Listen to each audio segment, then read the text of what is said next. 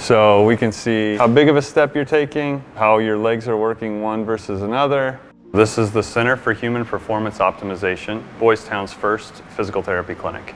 The center was designed to support the Institute for Human Neuroscience. So we do the clinical side of the research that happens. Uh, we look at physical therapy interventions and how they impact and change the brain. So looking at how individuals learn and respond to different physical therapy interventions.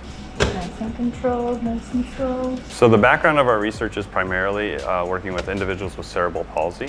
Uh, but we plan to work with anyone who has any kind of mobility impairment and see what's happening in different areas of pediatric neuroscience, such as epilepsy. All the therapy that we do here is really designed to provide individuals, uh, primarily adolescents and young adults, but really all children with an opportunity to move and explore movement in new and different ways. Therapy is thought of as being very hands-on.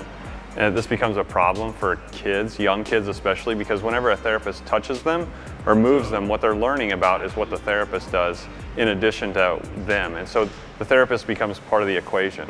So what you see in here is a lot of equipment designed to remove the therapist from the equation and allow the child to just explore movement 100% on their own with the therapist manipulating the environment or setting things up so the child can then autonomously go explore and learn and then we can wean the equipment out of the equation after they've learned that skill set to then kind of launch them out into the world.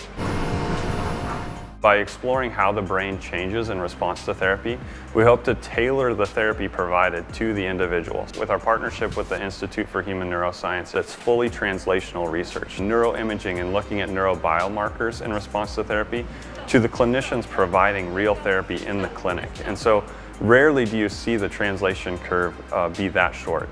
The real translation is like something like 14 years from the time of benchtop research to clinical bedside translation. We try to do it in what we call rapid prototyping, which means that we're trying the therapy, seeing the response to therapy, modifying our therapy, all in real time to produce research that is meaningful to clinicians and children and families.